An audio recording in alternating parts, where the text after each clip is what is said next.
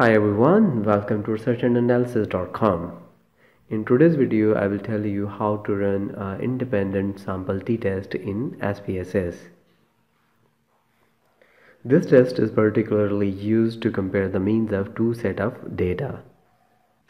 So this is the data file we have and, and we are interested to see if the average organizational pride of male and female are different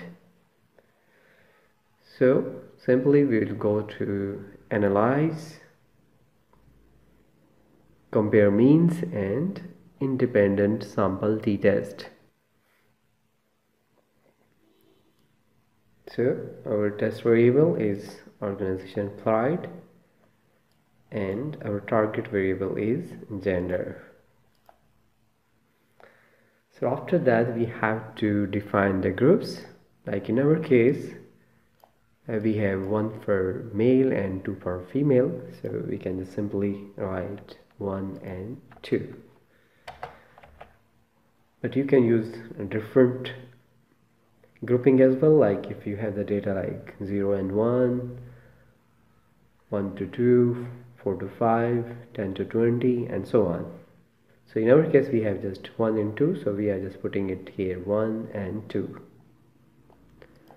just continue and okay.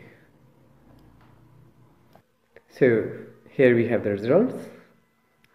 This is just showing the total numbers of male is 179 and female is 76 and then we have the mean value of organization pride in case of male is 3.79 and in case of female it is 3.54 standard deviation is 0.7828 and 0.77930 standard errors mean is 0.0585 in case of male and 0.08939 in case of female.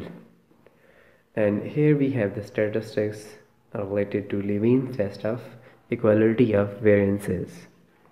And you can see that it is insignificant and uh, it is supposed to be insignificant because if it is significant then it means that the sample the two sample drawn from the different population.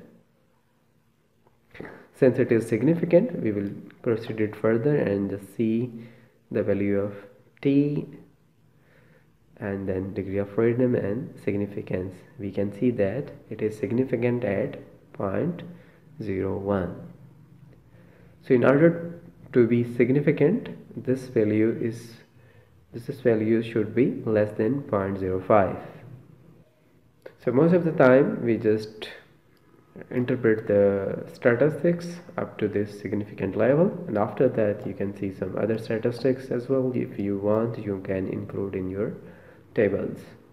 But these are the extra things I hope you have uh, understand how to run independent sample t-test in SPSS. If you will have any further question you can write in comments. Thanks for watching.